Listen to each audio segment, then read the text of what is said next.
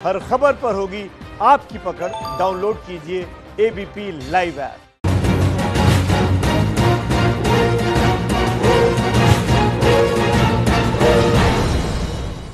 ABP news पर अपने show, संविधान की शपथ के साथ हाजिर हूँ मैं रुमाना इसार खान। नागरिकता संशोधन कानून पर आज सुप्रीम कोर्ट से सरकार को राहत मिली। याचिकाकर्ताओं की कानून पर फ़िलहाल अमल पर रोक की मांग न मानते हुए केंद्र सरकार से याचिकाओं पर सुप्रीम कोर्ट ने चार हफ़्ते में जवाब मांगा है। लेकिन इस सब के बीच नागरिकता कानून पर अब सरकार और विपक्ष में लड़ाई जो है, वो सीधे हिंदू मुसलमान पर आ गई है। बीजेपी ने आरोप लगाया कि नागरिकता कानून के विरोध की आड़ में दरअसल कांग्रेस हिंदुओं को गाली देने का काम कर रही है। विपक्ष ये कहता आया है कि इस कानून से मोदी सरकार ने दिखा दिया कि वो तो मुस्लिम विरोधी है। इसी पर करेंगे चर्चा। नागरिकता का नाम आखिर कब तक हिंदू मुसलमान?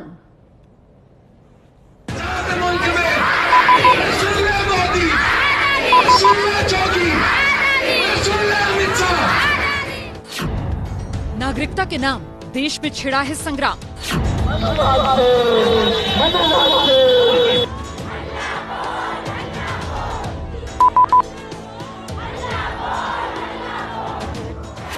आज भी सड़क पर ममता ने खोला मोर्चा।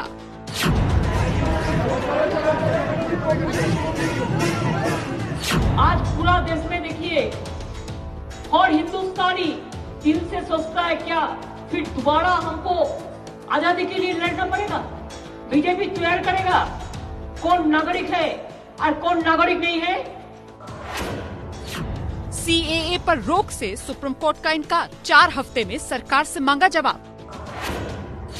राजनीति के मैदान में सीएए पर चैलेंज चैलेंज का खेल।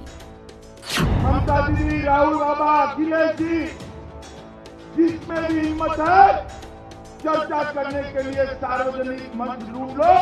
हमारा स्वतंत्र देव आपके सामने चर्चा करने के लिए तैयार ये हम कहना चाहते हैं कि जहाँ चाहे वहाँ विकास पे बहस करना चाहें हम समाजवादी लोग तैयार हैं। दूसरे भी बोलते हैं हमसे करो ना दाढ़ी वाले से करो टीआरपी अच्छा होगा टीवी के ऊपर I, I give an open challenge both to the Prime Minister and the Home Minister on one side and me on the other.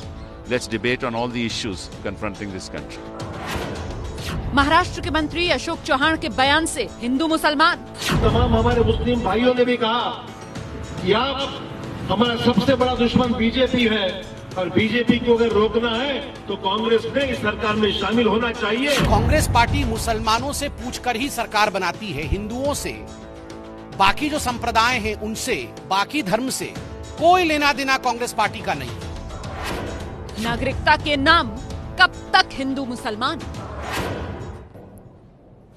आइए जल्दी से आपका परिचय कराते हैं। आज की इस चर्चा में खास मेहमान जो हमारे साथ मौजूद है, बीजेपी की तरफ़ से पार्टी के प्रवक्ता गौरव भाटिया जी इस चर्चा में हमारे साथ शिरकत कर। रहे हैं एआईएमआईएम के प्रवक्ता असीम बकार साहब इस चर्चा में हमारे साथ मौजूद हैं। स्टूडियो में मेरे साथ मौजूद हैं ए के वाजपेयी जी, प्रवक्ता हैं एलजेपी के, और अमीर हैदर जैदी साहब, लेफ़्ट नेता भी स्टूडियो में इस वक्त हमारे साथ मौजूद हैं। साथ ही वकील तहसीन पूनावाला, जिन्होंने इस कानून के खिलाफ याचिका डाली, वो भी आज की इस चर्चा में हमारे साथ शिरकत कर रहे हैं। अच्छा मैं चर्चा शुरू करूँ, उससे पहले मुझे लगता है कि हमें दर्शकों की आसानी के लिए उन्हें ये बताना चाहिए कि आखिर नागरिकता पर ये कंफ्यूजन क्यों है?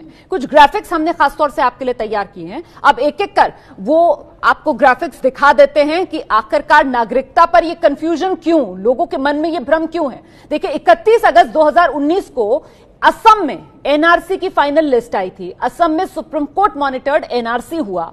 उसमें चर्चा यह कि 19 लाख लोगों को बाहर किया गया। ऐसी चर्चा रही। अच्छा चर्चा इसने भी ज़ोर पकड़ा कि भाई, बाहर होने वालों में ज़्यादातर हिंदू हैं। फिर आगे क्या हुआ? इस पूरे मामले पर आगे यह हुआ कि बीजेपी नेताओं ने ही, असम में ही एनआरसी पर आपत्ति जता दी कि ये एनआरसी जो है वो सही नहीं रहा है। अब इसके बाद एक कानून आया देश में, नागरिकता संशोधन कानून। मतलब वो एनआरसी का अलग मुद्दा था। इसके बाद कानून आया जो 11 दिसंबर को संसद से पास हो गया। ठीक है? फिर आगे ये हुआ कि जो कानून बना, उसमें यह कहा गया कि सीएए ये नागरिकता संशोधन कानून, तीन देश, पाकिस्तान, बांग्लादेश, अफ़गानिस्तान, वहाँ पे अल्पसंख्यक, छह धर्म। इन छह धर्मों को गिना गया, चिन्हित किया गया, जिसमें हिंदू, सिख, ईसाई, बौद्ध, पारसी, जैन, उन्हें नागरिकता दे दी जाएगी। अच्छा ये सीएए से इन तीन देशों के मुसलमानों को बाहर रखा गया मतलब इन तीन देश के मुसलमानों को नागरिकता नहीं। अब सीए के बाद एनपीआर और एनआरसी इसे लेकर लोगों में भ्रम है। हालाँकि सरकार की तरफ़ से बार बार इस बात को दोहराया जाता है कि एनआरसी को लेकर सरकार ने कोई कदम नहीं उठाया। लेकिन डर यह है कि भाई दस्तावेज़ हमारे पास होंगे नहीं। अगर एनआरसी होगा तो अगर हमारे पास दस्तावेज़ नहीं निकले, फिर अगर हम उन छह धर्मों में नहीं आते, हम मुसलमान हैं तो हमें तो जी देश से बाहर कर दिया जाएगा। ये कंफ्यूजन है लोगों में। ये लोगों का भ्रम है, जो मैं आपके सामने रख रही हूँ। और इस भ्रम को दूर करने के लिए सरकार की तरफ़ से क्या कुछ कहा गया है? मुझे लगता है आपको वो भी जानना चाहिए कि इस पूरे मामले पर लोगों के इस भ्रम को समझते हुए सरकार बार बार इस बात को दोहराती है कि सीएए नागरिकता संशोधन कानून। भाई, ये कानून नागरिकता देने वाला है। ये कानून किसी की नागरिकता छीनने वाला नहीं है। ये बात बार बार प्रधानमंत्री गृह मंत्री सबकी तरफ़ से कही गई। देश के मुसलमानों को डरने की कोई ज़रूरत नहीं है। बाकायदा मुसलमानों का नाम लेकर यह आश्वासन खुद प्रधानमंत्री गृह मंत्री ने देश के लोगों को दिया है। अभी एनआरसी पर कोई चर्चा नहीं है। मेरी सरकार ने एनआरसी पर कोई चर्चा नहीं की है। यह बात खुद देश को, देश के प्रधानमंत्री नरेंद्र मोदी ने बताई है। तो फिर आखिरकार नागरिकता का नाम कब तक हिंदू मुसलमान? ये मेरा सवाल है। और मुझे लगता है हमें गौरव भाटिया से शुरुआत करनी चाहिए। गौरव, मैं आपसे समझना चाहती हूँ कि भाई, सरकार की तरफ़ से या आजकल डिबेट्स में जब आप लोग आते हैं इस मुद्दे पर तो आप लोगों की तरफ़ से बार बार ये बताया जाता है कि जो सड़क पर जो प्रदर्शनकारी हैं जी, वो तो मुसलमान हैं। आप देख लो जी कहाँ कहाँ प्रदर्शन हो रहे हैं। दिल्ली का शाहीन बाग हो गया, सीलमपुर हो गया, तमाम नाम गिनाए जाते हैं। ठीक है? आज हमने देखा पार्टी की तरफ़ से जो प्रेस कॉन्फ्रेंस हुई, उसमें यह बता दिया गया कि साहब, ये जो सियासी दल विरोध कर रहे हैं, ये दरअसल सीए का विरोध नहीं कर रहे हैं। ये देश के हिंदुओं को गाली देने का काम कर रहे हैं। तो सर हिंदू मुसलमान सीए पर हिंदू मुसलमान क्यों गौरव भाटिया?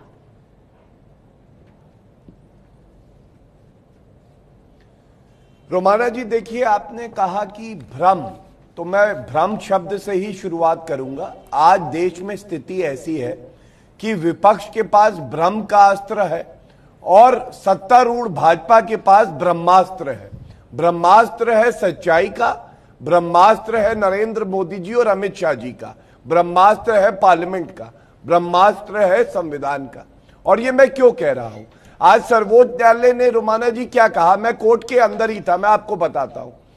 दलील दी गई याचिकाकर्ताओं की तरफ़ से कि इस कानून को रोक दिया जाए।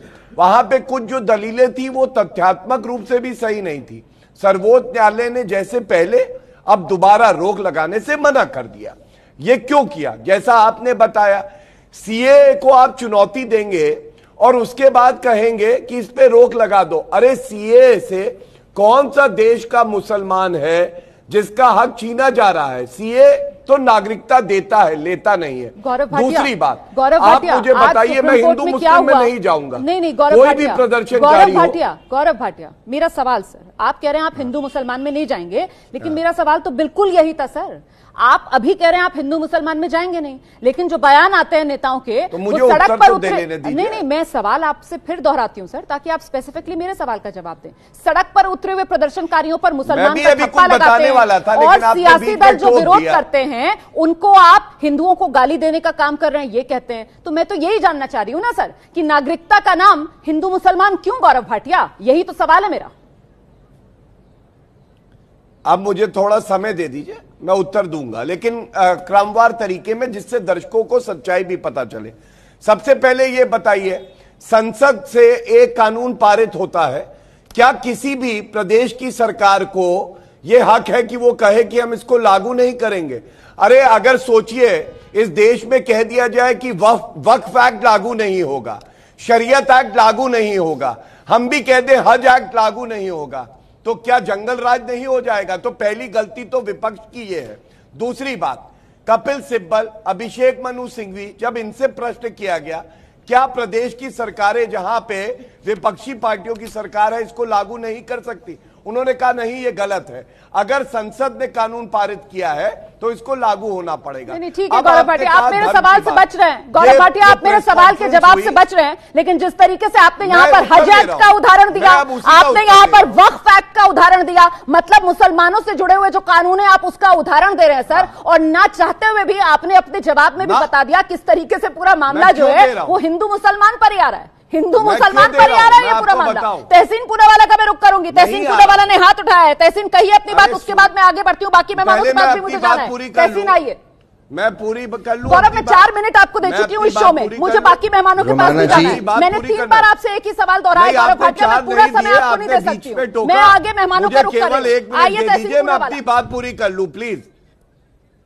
दोबारा आऊँगी सर। तो मुझे एक मिनट देने में आपको रोमाना जी हो रहा है आपने मुझे रोमाना जी एक ही मिनट मांगा था रोमाना जी आपने मुझे आपने मुझे मैं बात करना चाहता हूँ अगर अगर सराउंड साउंड बंद हो। आपके शो में शिरकत करने के लिए मैं आपका शुक्रगुजार हूँ आपने मुझे मौका दिया।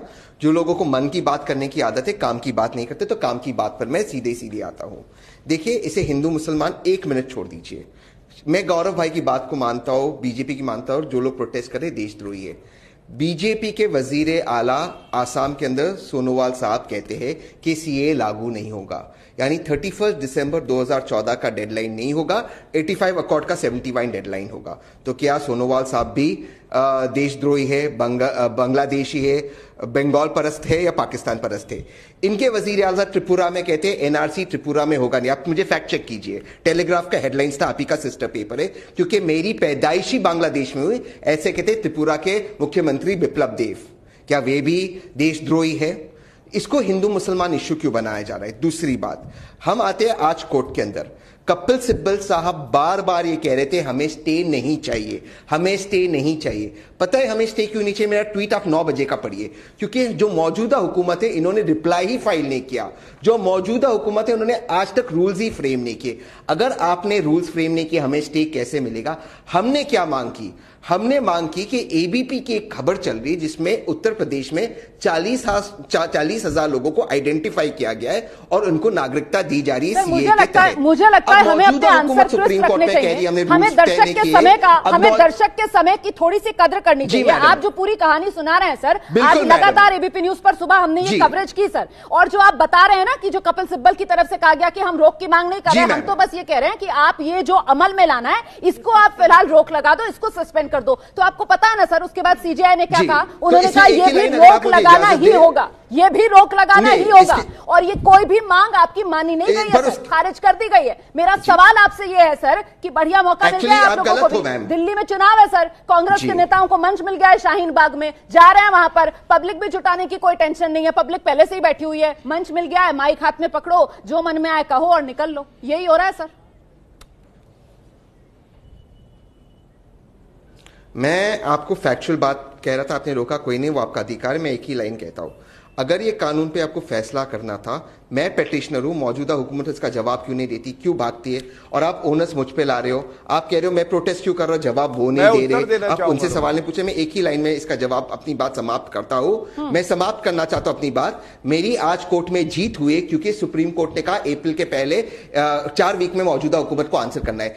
कानून अप्रैल में लागू होना है। अगर अप्रैल में लागू होना है चार हफ्तों में इनको आंसर करना है यानी फरवरी में यानी अप्रैल के पहले इसका फैसला हो जाएगा। जो मेरी मांग थी मुझे सुप्रीम कोर्ट में मिल गई मैं इसका शुक्रगुजार हूँ। गौरव भाटिया को जितना हिंदू मुसलमान करना है करे वो सोनोवाल साहब का जवाब दे और विप्लव देव ठीक का है जवाब दे। मैं मैं बारी बारी सबके पास आऊँगी। मुझे लगता है जल्दी से वाजपेयी जी को यहाँ पर हमें लेकर आना चाहिए क्योंकि वाजपेयी जी भी वकील है और यहाँ जिस तरीके से कानूनी दावपेच के हिसाब से यहाँ बातें घुमाई जा रही है वाजपेयी जी आ जाइए जल्दी से आप हम ये हाँ। कह रहे हैं अगर आप इसको जीत मानते हैं बहुत अच्छी बात है। ये आज का जो फैसला है ना जीत है ना हार है। हाँ। इट्स ए नॉर्मल रूटीन हुआ क्या कि 60 पिटीशंस में सरकार ने जवाब फ़ाइल कर दिया था टोटल 144 पिटीशन जो उसके बाद आई। हाँ। तो उसमें हम लोग करेंगे कैसे फ़ाइल कर पाते तो सुप्रीम कोर्ट ने हमको टाइम दे ठीक दिया। है वो तो वो अलग चीज़ है वो अलग। लेकिन बात ये है कि एक तरफ़ मामला कानून में लड़ाई चल रही है सुप्रीम कोर्ट की चौखट पर है वहाँ पर कसा जाएगा संवैधानिक या बिल्कुल, गैर संवैधानिक। लेकिन सड़क पर जो रहा है ये यहाँ पर जो पॉलिटिकल पार्टीज़ जो है वो हिंदू मुसलमान के जो रास्ते तलाश लिए हैं सर ये तो मतलब बढ़िया तरीका हो गया फिर हिंदू मुसलमान देखिए इनका सारा लब्बो लबाब इस सी डबल ए के खिलाफ एक ही चीज़ है कि अनकॉन्स्टिट्यूशनल है। और वो मामला सुप्रीम कोर्ट में पेंडिंग है हाँ। तो प्रोटेस्ट किस बात का है? मुझे ये नहीं समझ आ रहा। हाँ। या तो आप सुप्रीम कोर्ट से तय करा लो हाँ। या सरकार से तय करा लो। हाँ। पार्लियामेंट में सात घंटे डिबेट के बाद ये पास हुआ है कानून। हाँ। आपका आर्ग्यूमेंट सिर्फ़ ये कि अनकॉन्स्टिट्यूशनल है। नाउ लेट्स वेट अप्रैल तक वेट करो। अप्रैल तक तो आ नहीं रहा। तो प्रोटेस्ट किस लिए कर रहे है, मैं चलती प्रोटेस्ट मैं- करें वो उनका राइट है। लेकिन लेकिन लेकिन हाँ। प्रोटेस्ट में पॉलिटिकल पार्टी जा रही हैं वहाँ इंस्टिगेट कर रही हैं हाँ। भड़का रही हैं लोगों को हाँ। गुमराह कर रही हैं ये सरासर गलत है। ठीक है मैं असीम बकार साहब का रुख कर लेती हूँ और असीम बकार साहब इसमें तो शायद आपके नेताओं ने तो सर एक तरीके से महारत हासिल कर ली है। ओवैसी साहब तो खुली चुनौती भी दे रहे हैं कि साहब दाढ़ी वाले से आ जाओ डिबेट कर लो टीआरपी आ जाएगी टीआरपी भी उनको पता है सर कैसे आती है। दाढ़ी वाले टीआरपी ले आते हैं ये ओवैसी साहब जो है वो नया ज्ञान दे रहे हैं सर देश को। पर सर मुझे आप ये बताइए कि कुल मिलाकर हिंदू मुसलमान करना है ये बांटने का देश को मौका एआईएमआईएम असदुद्दीन ओवैसी की पार्टी ने भी ढूंढ लिया है, सर। इसी वजह से आरोप लग रहे हैं आप लोगों पर भी, और असदुद्दीन ओवैसी पर भी, कि ये तो बिल्कुल जिन्ना बन गए। देखिए, अब आप कुछ भी कहिए। अब असद साहब मुसलमान हैं तो आप हिंदू मुसलमान करने लगते हैं। लेकिन मुझे बहुत दुख के साथ ये कहना पड़ रहा है असद साहब मुसलमान है इसलिए हम हिंदू मुसलमान नहीं करते हैं। असद साहब जो है वो अपनी आइडेंटिटी दिखाना चाहते हैं। वो अपने आप को मुसलमान के तौर पर प्रेजेंट करना चाहते हैं। वो मुसलमानों की हमदर्दी चाहते हैं सर। वो मुसलमानों के रहनुमा बनना चाहते हैं सर। वरना क्या ज़रूरत थी असदुद्दीन ओवैसी को अपनी दाढ़ी का ज़िक्र करने की सर? क्या एक नागरिक के तौर पर वो चुनौती नहीं दे सकते थे कि आइए साहब मुझसे बहस कर लीजिए? तो हिंदू मुसलमान तो सर असदुद्दीन ओवैसी भी कर रहे हैं ना। काबिल वकील हैं तो बड़े ही शातिराना अंदाज में कर रहे हैं फिर तो यही कहा जाएगा। चलिए बोलूँ अब जवाब दूँ? जी बिल्कुल इंतज़ार में हूँ। देखिए एक ट्वीट ट्वीट हम लोग सब कुछ बोलते हैं कोई जरा सी बात एमआईएम की तरफ़ से कह दी जाती है तो पाकिस्तानी है देशद्रोही है बाबर की औलाद हैं मुगल हैं मुगल आज़म हैं पता नहीं क्या क्या कह देते हैं। लेकिन जब आसाम के मुख्यमंत्री सर्बानंदा सोनोवाल ने यह कहा कि as a son of Assam I will never allow any foreigner in my state तो सर्बानंद सोनोवाल ने तो सीधा सीधा चैलेंज किया सन ऑफ़ गुजरात और सन ऑफ़ जैन को। तो आपने क्यों नहीं चलाया? अब ये सर्बानंद सोनावाल मुगल आज़म है, नादिर शाह दुर्रानी है, मोहम्मद गौरी हैं, मोहम्मद गजनवी हैं, क्या हैं ये? हाफिज सईद मानेंगे इनको आप, मौलाना मसूद अदर मानेंगे इमरान खान के छोटे भाई मानेंगे नवाज़ शरीफ के बड़े भाई मानेंगे। आप क्यों नहीं दिखा रहे खाली मुसलमान विरोध कर रहे हैं। पूरा हिंदुस्तान विरोध कर रहा है इस कानून का। ठीक है। और शाह साहब कह रहे हैं कि ममता जी को अखिलेश जी को चैलेंज है। अच्छा। दो लाइन का जवाब आपके प्रवक्ता नहीं दे पाएँगे दो लाइन का जवाब। सर सर ठीक है आपने अपनी बात पूरी कर ली। आपके चैनल पर आपने अपनी बात पूरी कर ली। आपने जो सवाल उठाया है आपने जो सवाल उठाया है बात पूरी मैं नहीं होगी। उसका जवाब मैं उसका जवाब जो है वो गौरव भाटिया से लूँगी। लेकिन अभी यहाँ पर बैठकर जो आपने कहा ये दूसरे दल के जो नेता है वो हमें कह देते हैं कभी बाबर की औलाद है कभी हम पाकिस्तानी मुझे लगता है की हमें सुनाना हाफिज सैयद से चाहिए हमें जरा सुनाना चाहिए की वो जो छोटे ओवैसी है दर्ज कर रही है। वो जो छोटे ओवैसी है ना उन्होंने किस तरीके का बयान दिया है? वो किस तरीके से खुद बड़े गौरवान्वित हो रहे हैं अपने आप को बाबर का वंशज बताते हुए? मुझे लगता है हमें चैनल पर जरा वो बयान दिखाना चाहिए। उसके बाद मैं चर्चा आगे बढ़ाऊँगी। जरा दिखाइए वो बयान दिखाइए। मैं कहना चाहता हूँ तू मेरे कागज़ देखना चाहता है। अरे 800 बरस तक मैंने इस मुल्क पे हुक्मरानी और जाबादी की है। ये मुल्क मेरा था मेरा है मेरा। मुल्क के चप्पे चप्पे पर मेरे अजमत की निशानियाँ मौजूद हैं। मेरे आबा ने इस मुल्क को चार मीनार दिया, मक्का मस्जिद दिया, जामा मस्जिद दिया, कुतुब मीनार दिया। अरे, हिंदुस्तान का वज़ीर आज़म जिस लाल किले पर झंडा फहराता है, वो भी मेरे आबा अजदाद ने दिया है। असीम बकार साहब आपको तो सर बाबर की औलादों से आपत्ति हो रही थी। यहाँ पर ये आप ही की पार्टी के नेता हैं। सर ये तो तुर्क मंगोल मुगल सबको इन्होंने अपना बाप बता दिया। सर अब बताइए इसमें मैं क्या कह सकती हूँ? सुना आपने अपने नेता को? नहीं तो इसमें आपको बुराई क्या लग रही है? कुछ लोग अपने आप को नाथुराम गोडसे का बताए दे रहे हैं औलाद। कुछ लोग अपने आप को सावरकर की औलाद बताए दे रहे हैं। तो ये मौका मिल गया ना हिंदू मुस्लिम करने का। क्या क्या मुसलमानों ने प्रॉब्लम तो यही है ना सर प्रॉब्लम तो यही है जो मैं शो लेकर आई हूँ मैं डिबेट कर रही हूँ कि मौका मिल गया हिंदू मुसलमान करने का। ठीक है आपने बढ़िया हुआ आपने कह दिया कि आपको दिक्कत क्या है मुझे यही दिक्कत है। मैं हिंदुस्तान के नागरिक हूँ सर और मैं नहीं चाहती हूँ की देश के कानून पर देश को बांटा जाए हिंदू मुसलमान बनाकर आइए गौरव भाटिया आइए गौरव भाटिया यहाँ सबको मौका मिल गया हिंदू मुसलमान करने का। गौरव भाटिया। आप क्या चाहती है? मुझे नहीं पता आप क्या चाहती हैं। सर गौरव भाटिया को सुन लेते हैं उसके बाद मुझे जैदी साहब का भी रुख करना है। बहुत देर से इंतज़ार कर रहे हैं। जी। हमारे देश में जो एक मुख्यमंत्री सर्बानंदा सोनोवाल जी हैं उनकी तुलना हाफिज सैयद से करना आतंकवादियों से करना अपने आप में एआईएमआईएम की सोच दिखाता है। पहली बात।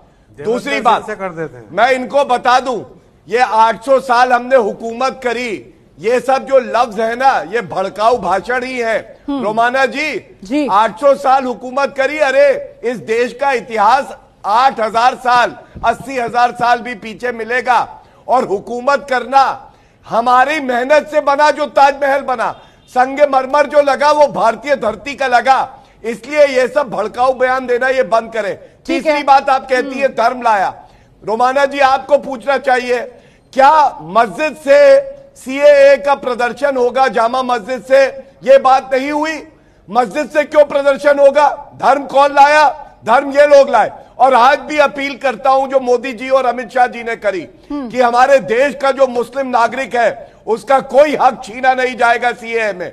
और सर्वोच्च न्यायालय के फैसले का इंतज़ार होना चाहिए। Very valid point Gaurav Bhatia. मुझे लगता है आपने जो पॉइंट उठाया है इस पर जवाब देना चाहिए। इस पर जैदी साहब को जवाब तो- देना चाहिए जैदी साहब। फिर आप लोगों को दिक्कत होने लगती है कि साहब मुसलमान का ठप्पा क्यों लगा रहे हो प्रदर्शनकारियों पर? ये तो हिंदुस्तानी है जो हाथ में तिरंगा लेकर संविधान की दुहाई दे रहे हैं। सर जामा मस्जिद के बाहर प्रदर्शन करते हैं जुमे के दिन चुनते हैं जुमे की नमाज़ का, के बाद का वक्त चुना जाता है और फिर तकलीफ़ हो जाती है कि मुसलमानों का ठप्पा क्यों? ये तो जवाब देना होगा ना सर। रुमाना जी मुसलमानों का जो आंदोलन होता है वो बाद नमाज़ जुमा शुरू होता है। मैं अक्सर कहता हूँ असर तक उसका असर खत्म हो जाता है। हम्म। तो ये अंदाज़ा लगाइए मुसलमानों का आंदोलन नहीं है। वाह। सुन लीजिए ये नहीं। मतलब फैसला लिख हो रहा होगा तो आप ये कह रहे हैं देवेंद्र जी देवेंद्र सिंह गौरव गौरव गौरव गौरव आपके बीच में कोई नहीं बोला था सर। पहली बार बारी आई है जैदी साहब की। ओए, बात मत करना। फिर जवाब आप हाँ, दीजिएगा। ठीक है लेकिन मुझे लगता है मुझे लगता है हमें निजी बनाए रखना। तो मैं बनाए चर्चा कर। रहे हैं प्लीज़ गौरव भाटिया की बारी नहीं है। जैदी साहब की पूरे शो में अब बारी आई है। हाँ, मर्यादा में संयम के साथ आप लोग अपनी अपनी बात रखिए। जैदी साहब आपका वक्त है आप बोलिए। गौरव हाँ, भाटिया आप नोट कर लीजिए। मुझे आपको जो आपत्ति दर्ज करानी है? बाद में कराइएगा सर प्लीज़ आइए जैदी साहब फैसला लिखा हुआ तो रखा है पहले से खिलाफ। आप क्या खाक अदालत में सफ़ाई देंगे? मैं पूछना चाहता हूँ आंदोलन एनआरसी के खिलाफ है। ये लीजिए। अदालत पे प्रश्न उठा दिया आपके चैनल पे। आप गौरव भाटिया को भी पेट में दर्द है। ये देवेंद्र का देवेंद्र सिंह के साथियों में टुकड़े टुकड़े के नकाब पोस्ट गैंग का सिपाही इसे चुप जाइए सिपाही थोड़ा सा। बैठा ही नहीं हूँ। मैं कहता हूँ रोमाना जी सर्वोच्च न्यायालय के इसे इन्हें ये तो छुपाइए रोमाना जी वरना ऐसी डिबेट में नहीं वकील ये तो मुझसे कहते कि आप सुबह से जब आप बीच में सबके बोलते हैं मैं नहीं बोलूँगा। सर सर गौरव भाटिया गौरव भाटिया वाजपेयी जी भी बैठे हुए हैं वो भी वकील है सर। ये डिबेट हो रही है सर। यहाँ सब अपनी अपनी बात रख रहे हैं। जरा सब्र रखिए गौरव भाटिया। इतने उतावले मत वाजपेयी जी से पूछ लीजिए नज़रिया भी सही कहा गया क्या? कि फैसला पहले से लिखा तो गया। लीजिए पूरी बात तो सुन लीजिए सर उसके बाद आ जाइएगा अपनी आपत्ति दर्ज करा लीजिएगा। आइए जैदी साहब अपनी बात पूरी कीजिए। तो बाद में दर्ज करा लेना ना अपनी आपत्ति बोलने तो देंगे या नहीं बोलने देंगे जैदी साहब को? ये आप ठान कर आए कि जैदी साहब जो बोले वो देश सुनी ना पाए। सिर्फ़ गौरव भाटिया जो चाहे वही देश सुने ऐसा नहीं हो सकता है कि सिर्फ़ गौरव भाटिया की बात ही देश सुनेगा। हर आवाज़ सुनी जाएगी इस देश में। जैदी साहब की आवाज़ भी सुनी जाएगी गौरव भाटिया। जैदी साहब की आवाज़ भी सुनी जाएगी गौरव भाटिया। प्लीज़ स्पेस दीजिए जैदी साहब गलत बातें बोलेंगे। स्पेस दीजिए जैदी साहब को। आतंकवादी से तुलना करेंगे। जैदी साहब। हम लोग आपत्ति दर्ज करेंगे। आंदोलन जैदी साहब आइए। आंदोलन एनआरसी के खिलाफ है। सरबनंदा क्या आंदोलनकारी क्या मांग कर रहे हैं? किसके मांग कर रहे हैं? हुकूमत हिंद से मांग कर रहे हैं? कि हमें ये एनआरसी नहीं चाहिए सीए नहीं चाहिए। मांग पूरी कौन करेगा? हुकूमत हिंद करेगी। हम्म। बाहर के मुल्क से तो नहीं मांग रहे ना। हम्म। यूएन से तो नहीं मांग रहे ना। अपनी हुकूमत से मांग कर और लोकतंत्र के अंदर जनता सब ऊपर ही होती है। जनता से ऊपर कुछ नहीं होता। लोकतंत्र में बाकी जो होते हैं वो सब नौकर होते हैं। लोकतंत्र में और लोकतंत्र की लड़ाई के अंदर जब जनता सड़क पर ये कह रही है कि द पीपल हम भारत के नागरिक ये संविधान नहीं नहीं इसे ये इसे ये नकाबपोश बैंक का जो आदमी बैठा है ये मुसलसल बोल रहा है। इसे छुपाइए नहीं ये बर्दाश्त से बाहर है। चुप बैठा जब से पूरी प्रवक्ता के लिए आप इस तरीके की शब्दावली का इस्तेमाल करेंगे ना सर सर प्लीज़ सर अपने बारी पर प्लीज़ सर प्लीज़ प्लीज़ बातें कर रहे हैं। अरे हमारा मान सम्मान करना। ये ये जो आपके चैनल पे बोल दिया है रोमाना जी ये इतना आपत्तिजनक है मेरे पे टिप्पणी कर रहे छोड़िए। सर्वोच्च पे टिप्पणी कर रहे मुख्यमंत्री पे टिप्पणी कर रहे यहाँ पर को पैनलिस्ट को आप कैसे आतंकवादी कह सकते हैं जैदी साहब? जैदी साहब ये नहीं हो सकता नहीं सर नहीं सर जैदी साहब मैंने उनको टोका जैदी साहब मैंने उनको टोका नहीं जैदी साहब जैदी साहब ये तरीका नहीं जैदी साहब जैदी साहब ये तरीका नहीं नहीं नहीं हम चुप बैठे है सर नहीं नहीं सोनोवाल जी को अभी इन्होंने आतंकवादी से तुलना कर दी तो बढ़ते जा रहे हैं सर ये तरीका नहीं है ना बहस करने का। ये तरीका नहीं है बहस करने का। रोमाना जी मैं बता रहा हूँ जाहिल गवार है नहीं नहीं सर आप आतंकवादी बताइए। कर सकते हैं हम बहस नहीं कर सकते। मुझे आप दोनों को रोकना पड़ेगा। ये बेहद आपत्तिजनक भाषा है सर। हर तरफ़ से इसी तरीके के ठीक है सर। आपकी मर्ज़ी मैं भी नहीं चाहती हूँ बोल रहा था मैं सब बोल रहा था मेरे साथ ऐसे पैनलिस्ट बैठे जो अपने को पैनलिस्ट पर इस तरीके के सोनोवाल जी को आतंकवादी से तुलना करी या नहीं करी? और दूसरा सामना खामोश बैठा था। रोज की गलत शब्दों का प्रयोग कर रही जो तुम्हारा ये आतंकवादी सामने से बोल रहा है जो महिलाओं की इज़्ज़त नहीं करता जो sir sir sir sir sir यही तो दिक्कत है ना सर। सब ठप्पा लगाने लगते हैं। सब ठप्पा लगाने कोई कोई सड़क पर ये क्या बात ये का साथी है। जैदी साहब आई तो सॉरी ये गलत बात है। चलिए बिल्कुल गलत बात है। आप बार-बार रिपीट कर रहे हैं खिलाफ बार-बार अरे बिल्कुल ठीक है। लेकिन आप ये कैसे कहते हो आतंकवादी है? ये कैसे नहीं अरे भाई नहीं एक मिनट एक मिनट एक मिनट। सर यहाँ हम छह लोग बैठे हुए हैं। यहाँ हम छह लोग बैठकर अगर बात नहीं कर पा रहे हैं तो मुझे तो आगे चर्चा इस दिशा में लेकर जानी थी कि वहाँ पर जो लोग बैठे हुए हैं उनके साथ बात कैसे बनेगी सर? यहाँ छह लोग ही नहीं बैठ के आराम से बात कर पा रहे हैं सर। दर्शक देख रहा होगा वो सोच रहा होगा बताओ ये छह नहीं तमीज से बात कर पा रहे जैदी साहब एक मिनट एक मिनट एक मिनट जैदी साहब। मुझे लगता है हमें तहसीन का रुख करना चाहिए तहसीन बहुत देर से अपनी बारी जी मैं आधा मिनट लूँगा तहसीन अपनी बात रख दें उसके बाद मैं आपके पास आऊँगी। आइए तहसीन प्लीज़ आइए। अरे छोड़िए आप अपना काम करिए। प्लीज़ गौरव भाटिया मुझे लगा हमें बताएँगे। जी जी जी जी आइए तहसील। मुझे मुझे लगा मुझे लगा जी मुझे लगा शो पे थोड़ी इंटेलेक्चुअल बातें होगी तो मैं थोड़ी लीगल पॉइंट रख दू। हमारे वज़ीर आज़म और अभी गौरव भाई ने एक बात कही आपने उसे सराहा आपने कहा देखो एनआरसी की बात बिल्कुल नहीं हो रही हमारे वज़ीर आज़म ने भी ये बात की कि हमारी हुकूमत में एनआरसी की बात हुई नहीं। मैं दो संक्षेप में पॉइंट्स रख दूँगा आपने कहा संक्षेप में। एक हम्म।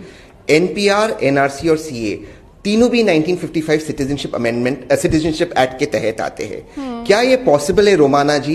कि आप आधा प्रेग्नेंट कोई व्यक्ति हो आधा प्रेग्नेंट ही? या तो आप प्रेग्नेंट हो या तो आप प्रेग्नेंट नहीं हो। तो आ, या तो कानून लागू होगा या तो कानून लागू नहीं होगा आधा कानून तो लागू नहीं होगा गौरव भाई कहते हैं कि नागरिकता देने का तहसीन पूनावाला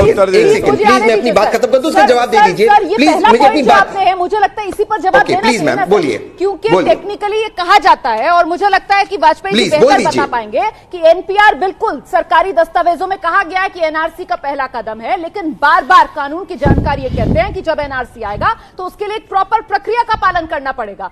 सर वो गुपचुप रात के अंधेरे में नहीं आ जाएगा उसके लिए एक प्रॉपर प्रक्रिया होगी नोटिफिकेशन होगा जो आएगा और वो प्रक्रिया अभी शुरू नहीं की है सरकार। सरकार ने। मेरे ख्याल से वाजपेयी जी बेहतर बता पाएँगे। देखिए सी डबल ए में आप ऑब्जेक्शन है वो सुप्रीम कोर्ट डिसाइड करेगा। हाँ। एनपीआर हम्म। कोई उसमें डिस्प्यूट है नहीं। हम्म। एनआरसी अभी आया नहीं है जबकि हाँ। आपको मालूम है कि एनआरसी का प्रोविज़न इनबिल्ट है. हाँ। के साथ ही इनबिल्ट है हाँ। और वो सिटीजनशिप एक्ट का हिस्सा है. हाँ। तो उसमें कोई कानून नया नहीं आना है. लेकिन प्रधानमंत्री ने जब कमिटमेंट कर दी हाँ। कि एनआरसी नहीं आया है आ, कोई चर्चा नहीं हुई है तो उस पर आप क्यों चिंता व्यक्त ठीक है आप दूसरा पॉइंट ले आइए चिंता न करें. लेकिन दूसरी बात एक और कोर्ट का फैसला लिखा हुआ है. हाँ. ये बिल्कुल जवाब दे दू? बिल्कुल गलत बात नहीं बिल्कुल नहीं। आप न्यायालय में जवाब दे गृह मंत्री ने क्या कहा गृह मंत्री ने कहा एनएए पे भ्रम न फैलाए। एनएए एनआरसी का हिस्सा है। पहले हम एनएए लेके आए हैं गृह मंत्री बार बार ये बात दोहराती हूँ की हम वही सुनते हैं जो हमें सूट करता है ना? हमने बस ये तो सुन लिया लेकिन उसके बाद जो प्रधानमंत्री ने कहा की एनआरसी नहीं रोमाना जी क्या मैं जवाब दे सकता हूँ? आपने टोका मुझे बीच में। एक मिनट एक मिनट जल्दी रोमाना जी आपने टोका मुझे बीच में। गौरव जल्दी से आइए समय मेरे पास इतना ही है। गौरव भाटिया आपने मुझे टोका मेरी बात तो खत्म होने दीजिए। बस आ रही हूँ तहसीन आ रही हूँ आपके पास। गौरव भट्ट। बस मैं एक बात कहूँगा क्योंकि कानून कानून की बात हो रही है तो मैं आपको बता दूँ ये जनता होती है। जो कहता सरकार है नहीं होती है। पहले गृह मंत्री जनता के नौकर है कोई नहीं बता रहे हैं। कोई जब जनता सड़कों पर लोकतंत्र और मैं आपत्ति दर्ज करता हूँ तो नौकर को चाहिए कि मुख्यमंत्री है आसाम के उनको आतंकवादी से तुलना पकड़ के करना। नौकरी से बाहर ये बिल्कुल आपत्ति हो। ये जनता है। गुजारिश आपसे, आइंदा से ऐसे लोगों को मत बुलाइए मुझे विरोध करने में मुख्यमंत्री को आतंकवादी जब बहस बोलूँगा सर, और मुझे डराने वाला मेरी बहुत बहुत धन्यवाद बहुत बहुत धन्यवाद। मैं ऐसे नहीं बहस कर सकती हूँ ना दर्शकों का वक्त भी बर्बाद होता है। मैं एक कंस्ट्रक्टिव बहस लेकर आती हूँ कि दर्शक जो मेरा शो देखे एक समझ बना कर जाए। चलिए आज हमने ये जो बहस की है इस बहस के बाद मेरी राय बहुत साफ़ है कि लोकतंत्र में संवाद से ही समाधान होता है। विरोध करने वालों से बातचीत कर विवाद सुलझाना सरकार की ही ज़िम्मेदारी है मेरी नज़र में। बहुत बहुत धन्यवाद आप सभी का संविधान की शपथ में, आज के शो में हमारे साथ बने रहने के लिए।